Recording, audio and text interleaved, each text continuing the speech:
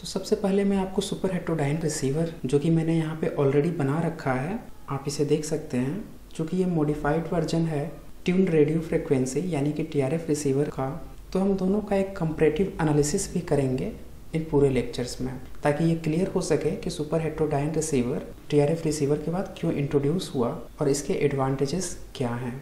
सबसे पहले तो हम ये देख लेते हैं कि why it is called the super heterodyne receiver इस ब्लॉक डायग्राम में फाइव स्टेजेस हैं। फ़र्स्ट स्टेज है radio frequency amplifier second stage mixer है थर्ड है आई एफ़ एम्पलीफायर फोर्थ है सेकेंड डिटेक्टर एंड फिफ्थ है audio frequency voltage and power amplifier चूँकि ये जो सेकेंड स्टेज है मिक्सर स्टेज जिसे कि हम फ़र्स्ट डिटेक्टर भी कहते हैं, यहाँ पे हम एक लोकल ऑक्सीटर यूज़ करते हैं, जो कि एफ़ एल फ्रिक्वेंसी जनरेट करता है और जो भी इनकमिंग फ्रिक्वेंसी आ रही है जो कि आर एफ़ एम्पलीफायर के थ्रू एम्पलीफाई होके आ रही है और इसकी frequency let's assume that F C है तो ये एफ़ एल जो कि लोकल ऑक्सीटर फ्रिक्वेंसी है ग्रेटर होता है इनकमिंग फ्रिक्वेंसी एफ़ सी के।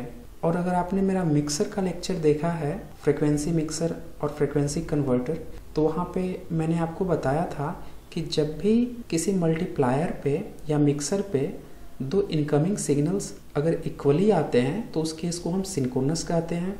यानी कि F C is equal F L होता तो ये सिंकोनस डिटेक्शन होता।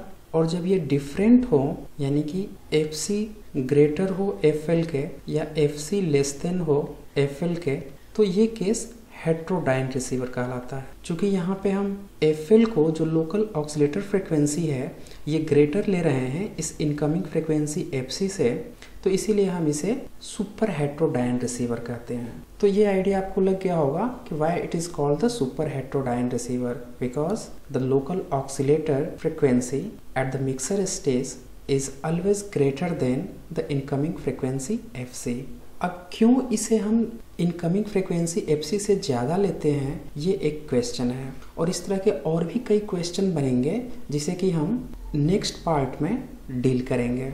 क्योंकि इस फ़र्स्ट पार्ट में हमारा मेन पर्पस है सुपर हेट्रोडाइन रिसीवर के बेसिक कंसेप्ट को समझना। अब इसके बाद एक ओवरव्यू ले लेते हैं इस पूरे ब्लॉक डायग्राम का। उसके बाद हम इच ब्लॉक को डिटेल से स्टडी करेंगे। अगर हम ओवरव्यू की बात करें तो इस ब्लॉक डायग्राम में हम जानते हैं कि जो भी इलेक्ट्रोमैग्नेटिक वेव आएगा, यानी कि जो ट्रांसमिटेड सिग्नल है, वो इस एंटीना पे रिसीव होगा। रिसीव होने के बाद अगर उसकी फ्रिक्वेंसी एफ़ है, जो कि मैंने यहाँ एज्यूम कर रखा है, इसका गेन काफ़ी कम होगा क्योंकि इलेक्ट्रोमैग्नेटिक वेव को हमने एंटीना के थ्रू उसके कॉरस्पॉन्डिंग इलेक्ट्रिकल सिग्नल में कन्वर्ट किया है। तो सबसे पहले हमें इसे बुस्टअप करना होगा, यानी कि इसे गेन प्रोवाइड करना होगा। तो इसे हम फ़र्स्ट स्टेज यानी कि आर एफ़ एम्पलीफायर जिसे हम रेडियो फ्रिक्वेंसी एम्पलीफायर कहते हैं, इसके थ्रू पास करेंगे, जहाँ से ये बुस्टअप हो जाएगा। और इसे एक डिजायर्ड गेन मिल जाएगा। फ्रीक्वेंसी में कोई चेंज नहीं होगा, क्योंकि हम जानते हैं कि गेन जो है एम्पलीट्यूड को या वोल्टेज लेवल को एम्पलीफाई करता है। तो फ्रीक्वेंसी सेम एफ़ सी यहाँ पर हमें मिलेगी। इस मिक्सर स्टेज का इनपुट और इस मिक्सर पे ही लोकल ऑक्सीटर लगा हुआ है जो कि एफ़ एल फ्रिक्वेंसी प्रोवाइड कर रहा है। और अभी हमने देखा कि एफ़ एल ग्रेटर होता है एफ़ सी से। मिक्सर का जो बेसिक पर्पस होता है, वो ये होता है कि जो भी आउटपुट ये प्रोवाइड करेगा, वो दोनों ही फ्रिक्वेंसीज का समेसन या सब्ट्रैक्शन हो सकते हैं। यानी कि जो एफ़ आई हमने डिनोट किया है आउटपुट ये एफ़ आई जैसे कि हम इंटरमीडिएट फ्रिक्वेंसी कहते हैं, ये हो सकता है F L plus minus F C लेकिन ये तो रिसीवर है तो ऑफकोर्स यहाँ पे हम एफ़ आई की value F L minus F C choose करते हैं, क्योंकि रिसीवर पे हायर फ्रिक्वेंसी को रिड्यूस करना होता है और उससे मैसेज को एक्सट्रैक्ट करना होता है। और चूँकि हम जानते हैं कि मैसेज सिग्नल की फ्रिक्वेंसीज लो होती है तो इसीलिए हम यहाँ पे सब्ट्रैक्शन यूज़ करेंगे ताकि फ्रिक्वेंसी को हम कम कर सकें। अब जब यहाँ पे इंटरमीडिएट फ्रिक्वेंसी एफ़ आई हमें मिल जाएगा तो इसे हम फर्दर एम्पलीफाई करेंगे यानी कि इसका वोल्टेज लेवल या यूँ कहें कि एम्पलीट्यूड को इंक्रीज करेंगे। इंटरमीडिएट फ्रिक्वेंसी एम्पलीफायर का जो मेन पर्पस है, वो सिर्फ़ एम्पलीफाई करना नहीं है, बल्कि सेलेक्टिविटी एंड सेंसिटिविटी जैसे पैरामीटर भी यहाँ पे एनालिसिस किए जाते हैं। तो यहाँ से जो आउटपुट मिलेगा, उसकी फ्रिक्वेंसी सेम ही होगी, यानी कि एफ़ ही होगी, क्योंकि हम जानते हैं कि एम्पलीफिकेशन के बाद से फ्रिक्वेंसी चेंज नहीं होती है। अब ये इंटरमीडिएट फ्रिक्वेंसी इस सेकेंड डिटेक्टर पे आएगा। चूँकि हम जानते हैं सेकेंड डिटेक्टर जो है, ये एक सिंक्रोनस डिटेक्शन की तरह वर्क करेगा। यानी कि यहाँ पे भी एक लोकल ऑक्सीटर लगा होगा, अगर हम सिंक्रोनस वे से डिटेक्ट कर रहे हैं तो। तो यहाँ पे जो फ्रिक्वेंसी जनरेट होगी, वो सेम इस इंटरमीडिएट फ्रिक्वेंसी के इक्वल होगी, और इन दोनों फ्रिक्वेंसीज का सुपर इम्पोज इस सेकेंड डिटेक्टर पे होगा और फाइनली वहाँ से हमें मैसेज सिग्नल एफएम मिल जाएगा। अगर आपको इसमें डाउट है कि सिंकोनस डिटेक्शन कैसे होता है तो आप मेरे प्रीवियस लेक्चर्स को जाकर देख सकते हैं, जहाँ पे मैंने एम रिसीवर्स में सिंकोनस डिटेक्शन को डिस्कस किया है। उसका लिंक भी मैं डिस्क्रिप्शन में दे रखा हूँ, वहाँ से आप जाके देख सकते हैं। फिर अब ये जो बेसमेंट सिग्नल मिलेगा सेकेंड डिटेक्टर का, जिसकी फ्रिक्वेंसी एफ़ है, इसे फर्दर एम्पलीफिकेशन की ज़रूरत होगी, ताकि हम इसे स्पीकर के through message signal physically find out कर सकें। तो ये जो नेक्स्ट स्टेज है F voltage and power amplifier वो इस मैसेज सिग्नल को, या यूँ कहें बेसमेंट सिग्नल को फर्दर एम्पलीफाई करने के लिए यूज़ किया जाता है। और फिर इसके बाद जो हमें मैसेज सिग्नल मिलेगा, जिसकी फ्रिक्वेंसी एफ़ होगी, ये फिजिकली इस स्पीकर के थ्रू हम यहाँ पे फाइंड आउट कर लेंगे। तो ये एक ओवरव्यू था block diagram of super heterodyne receiver का। अब इससे कई सारे क्वेश्चंस बनते चले जाते हैं और वो क्वेश्चंस ये भी हो सकता है कि जो इंटरमीडिएट फ्रिक्वेंसी है एफ़ आई जिसे कि सुपर हेट्रोडाइन रिसीवर में फिक्स्ड कर दिया जाता है। F I is always taken 455 kilo hertz इतना ही क्यों चूज़ किया जाता है? क्यों इसे फिक्स किया जाता है? इस तरह के भी क्वेश्चन अराइज होंगे। तो इन सारे क्वेश्चंस का हम आंसर देखेंगे और इन क्वेश्चंस का आंसर से पहले पैरामीटर एनालिसिस कर लेते हैं सेंसिटिविटी और सेलेक्टिविटी का। जो कि किसी भी रिसीवर को मेजर करने के लिए पैरामीटर के रूप में यूज़ होते हैं। तो फ़र्स्ट पैरामीटर है सेंसिटिविटी किसी भी रिसीवर की सेंसिटिविटी गेन पे डिपेंड करती है। यानी कि गेन जितना ही बेटर होगा, उसकी सेंसिटिविटी उतनी ही बेटर होगी। लेकिन इस सेंसिटिविटी के लिए जो सर्किट डिज़ाइन होगा, उसकी कुछ लिमिटेशंस होती है। अगर गेन बहुत ज़्यादा है तो जो हम सर्किट डिज़ाइन करेंगे, उसमें इन स्टेबिलिटी की प्रॉब्लम हो सकती है। इसीलिए एक मोटरेट गेन को ऑलवेज यूज़ किया जाता है ताकि इन स्टेबिलिटी के प्रॉब्लम से बचा जा सके और हमें एक स्टेबल सिस्टम मिल सके। तो इसीलिए जो इंटरमीडिएट फ्रिक्वेंसी एफ़ है, इसे फिक्स कर दिया जाता है 455 किलोहर्ट्ज और जब ये फ्रिक्वेंसी फिक्स्ड होगा तो इसके लिए जो एम्पलीफिकेशन होगा, इस आई एफ़ एम्पलीफायर में, वो नेचुरली स्टेबल होगा। क्योंकि सेंसिटिविटी की एनालिसिस जैसा कि मैंने बताया, इस third stage I F amplifier में होती है। इसीलिए हम इस इंटरमीडिएट फ्रिक्वेंसी एफ़ आई जो कि इस इंटरमीडिएट फ्रिक्वेंसी एम्पलीफायर का इनपुट है, इसे ही फिक्स करते हैं। टीआरएफ रिसीवर में ये फिक्स्ड नहीं था। तो इसीलिए टीआरएफ रिसीवर का जो गेन है, वो काफ़ी हाई भी हो जाता था। उससे ये इनस्टेबिलिटी की प्रॉब्लम आकर करती थी और इसीलिए इसका परफॉर्मेंस पुअर हो जाता था। तो यहाँ से दो बातें आपको पता लगी।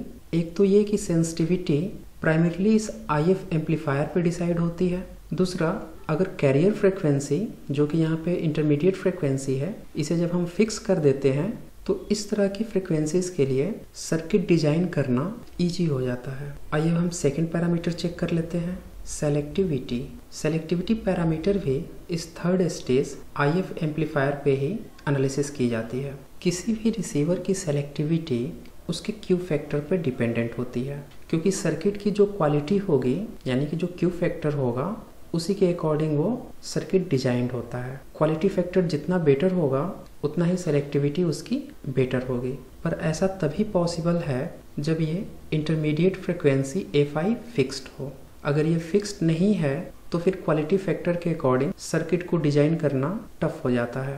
क्वालिटी फैक्टर का फॉर्मूला होता है centred frequency F C upon bandwidth of base band signal अब हम टीआरएफ रिसीवर का ही एग्ज़ाम्पल ले लेते हैं, जो कि मीडियम वेव्स यूज़ करता है और जिसकी रेंज होती है 550 किलो हर्ट्ज से लेकर 1650 किलो हर्ट्ज तो लोअर एंड पे अगर हम 550 किलो हर्ट्ज यूज़ करें तो इस केस में क्वालिटी फैक्टर आएगा एफसी की जगह पे हम 550 फिफ्टी किलो हर्ज लेंगे और बैंडविथ हम एज्यूम कर लेते हैं बेसमेंट सिग्नल का 10 किलो हर्ज है। तो यहाँ पे 10 किलो हर्ज हो जाएगा और ये आ जाएगा 55 यानी कि अगर हम मीडियम वेव्स यूज़ कर रहे हैं तो क्वालिटी फैक्टर लोअर एंड पे 55 होनी चाहिए और हायर एंड पे Q2 इस 550 की जगह अब 1650 हम यूज़ करेंगे। अपॉन बेसमेंट सिग्नल तो 10 किलो हर्ट्ज है। तो ये वैल्यू आ जाएगा 165 यानी कि जो भी हम सर्किट डिज़ाइन करने वाले हैं, वो फ्लेक्सिबल होना चाहिए कि 55 क्वालिटी फैक्टर को भी टोलरेट कर सके और 165 फैक्टर को भी। लेकिन ऐसा सर्किट डिज़ाइन करना काफ़ी टफ होता है। सर्किट में कम्प्लेक्सिटी इंक्रीज होती है एज वेल एज इसका कॉस्ट भी काफ़ी इंक्रीज कर जाता है। तो ये भी एक ड्रॉबैक थी टीआरएफ रिसीवर में। तो इसका एक सॉल्यूशन खोजा गया और ये सॉल्यूशन स्ट्रॉन्ग ने खोजा था। अगर हर्ज के बाद से एम और एफएम कम्युनिकेशन में किसी का सबसे बड़ा रोल था तो ये स्ट्रॉन्ग ही थे।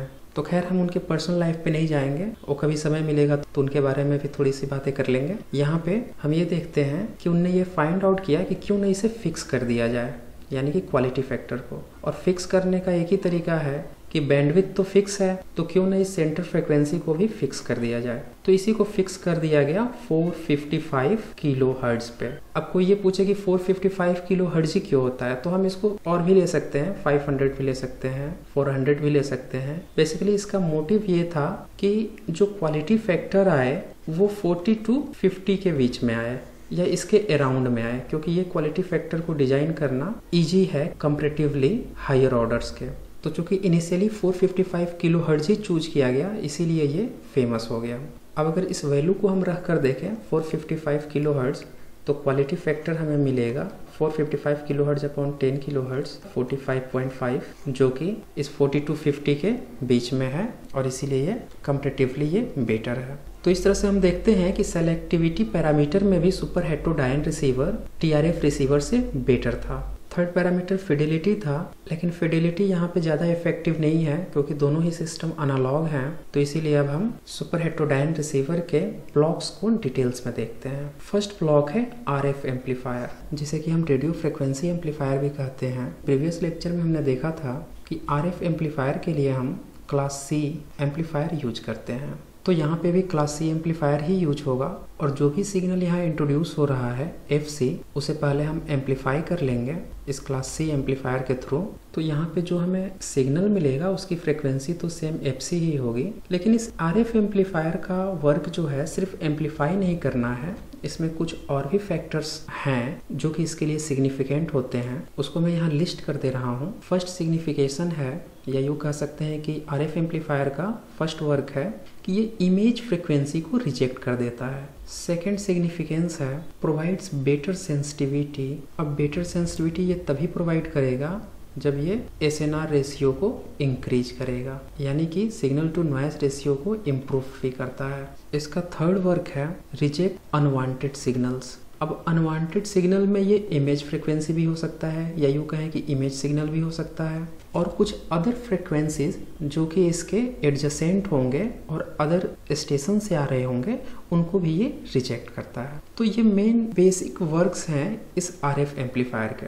अब यहाँ पे एक अच्छा क्वेश्चन बन रहा है कि ये इमेज फ्रीक्वेंसी क्या है? दूसरा क्वेश्चन ये आप कह सकते हो कि अभी तो मैंने बताया कि सेंसिटिविटी और सिलेक्टिविटी इस third stage I F amplifier पे होता है। देन आर एफ़ एम्पलीफायर कैसे डिसाइड कर रहा है सेंसिटिविटी को? तो इन क्वेश्चंस को भी हम देख लेते हैं। सबसे पहले देखते हैं इमेज फ्रिक्वेंसी क्या है। इमेज फ्रिक्वेंसी जो भी हम फ्रिक्वेंसी इस आर एफ़ एम्पलीफायर पे रिसीव करते हैं, यानी एफ़ सी इसी से रिलेटेड होता है। जिसको कि हम एफ़ सी डैश से डिनोट करते हैं। चूँकि हमने यहाँ पे देखा था इस मिक्सर स्टेज पे F L minus F C is equal F I जिसे कि हम ऐसे भी लिख सकते हैं F C is equal F L minus F I और F L is equal F C plus F I इसे मैं इक्वेशन सेकेंड कह रहा हूँ और इसे मैं इक्वेशन वन कह रहा हूँ। तो एफ़ सी आप देख रहे हो कि एफ़ एल में, यानी कि जो local oscillator frequency F L है,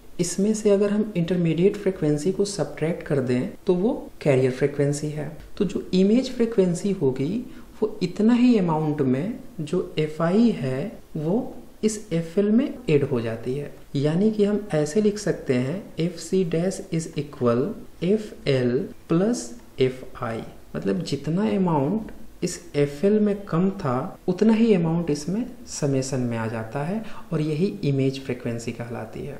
इसे मैं इक्वेशन थर्ड कह रहा हूँ। अब इक्वेशन थर्ड और फ़र्स्ट को सॉल्व करें या यूँ कहें कि थर्ड और सेकंड को सॉल्व करें तो हम यहाँ से एफएल की वैल्यू को, जो कि हमने सेकंड में फाइंड आउट किया है, यहाँ पे लिख सकते हैं F C plus F I plus F I यहाँ पे ऑलरेडी दिया हुआ है तो ये हो जाएगा F C plus two F I यानी कि जो इमेज फ्रिक्वेंसी है, वो एक्चुअल कैरियर फ्रिक्वेंसी के कंपेयर में twice of intermediate frequency higher होती है। और जब ट्वाइस हायर होगी तो आगे के स्टेज में जब एम्पलीफिकेशन होगा तो वहाँ पे इनस्टेबिलिटी का प्रॉब्लम हो सकता है। इसीलिए इमेज फ्रिक्वेंसी को इनिशियली ही रिजेक्ट करना ज़रूरी होता है। क्योंकि सिलेक्शन प्रोसीजर इस आर एफ़ एम्पलीफायर के पास होता है, इसीलिए इसे इनिशियली ही रिजेक्ट कर दिया जाता है। इसके लिए इस आर एफ़ एम्पलीफायर में अलग से ट्यून्ड सर्किट यूज़ की जाती है, जो कि इस अनवांटेड सिग्नल इमेज फ्रिक्वेंसी को रिजेक्ट कर सके। यहाँ पे दोनों क्वेश्चन के आंसर आपको मिल गए होंगे कि इमेज फ्रिक्वेंसी क्या होती है, और सेकंड कि क्यों इसे हम इनिशियली ही रिजेक्ट करते हैं कंपेरेटिवली इस इंटरमीडिएट फ्रिक्वेंसी एम्पलीफायर का नेक्स्ट पार्ट में मैं इस मिक्सर स्टेज जिसमें कि why F L is greater than F C और इस आई एफ़ एम्पलीफायर इस second detector audio frequency voltage and power amplifier से रिलेटेड क्वेश्चंस को सॉल्व करेंगे और उसे डिटेल्स में देखेंगे। सेकेंड पार्ट भी काफ़ी इंपॉर्टेंट है, उसे आप न मिस करना। आप मुझे ये ज़रूर बताएँ कि आपको ये लेक्चर कैसा लगा? आप कमेंट बॉक्स को यूज़ कर सकते हैं, आप लाइक करें अगर आपको पसंद आ रहे हैं और अपने दोस्तों के साथ शेयर भी करें ताकि जो भी निडी स्टूडेंट्स हैं, उन्हें ये लेक्चर्स मिल सकें। तो आज बस इतना ही। Thank you